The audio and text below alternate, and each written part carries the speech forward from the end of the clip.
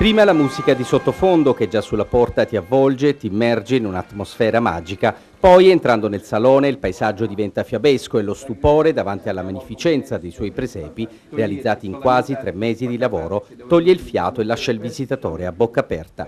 Cinque opere, per la precisione, che Vito Pepe realizza ogni anno nella sua abitazione di Bari. Da quello napoletano, grande quasi quanto una stanza, a quello bonsai dal presepe nordico alla natività illuminata con lucine calde e soffuse che danno anima ai personaggi della grotta, fino a quello lappone dominato dal bianco che ai più piccoli fa scappare qualche lacrimuccia di commozione. Già di quei paesi sono innamorato, però poi l'effetto che i bambini rimangono ancora molto seriafatti di questo presepe mi fa ancora più contento. Ecco perché diciamo, mi, mi, dedico molto a questo tipo di presepe perché comunque almeno io penso che hanno, è una novità. Veri gioielli natalizi, opere d'arte uniche, frutto di lavoro e fantasia, ma soprattutto amore e grande passione. Osservandoli da vicino si scoprono dettagli e particolari senza eguali, il panettiere con il pane vero, il pescivendolo che vende anche le cozze e poi lo stagnaro, l'arrotino, l'osteria, la lavandaia e il venditore di vasi. Io sono innamorato di Natale proprio per questa atmosfera natalizia, che sono molto innamorati. Poi gli amici che mi fanno tanti complimenti, tutte queste persone che vengono,